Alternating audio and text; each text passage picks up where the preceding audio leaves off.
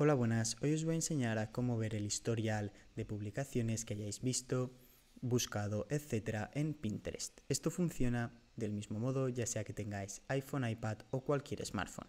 Bien, para ello lo que haremos será irnos a nuestro perfil, abajo a la derecha, y ahora pulsaremos encima de los tres puntitos que aparecen arriba a la derecha. Pulsaremos sobre configuración una vez estemos dentro de la configuración, pulsaremos encima de afinador del feed de inicio.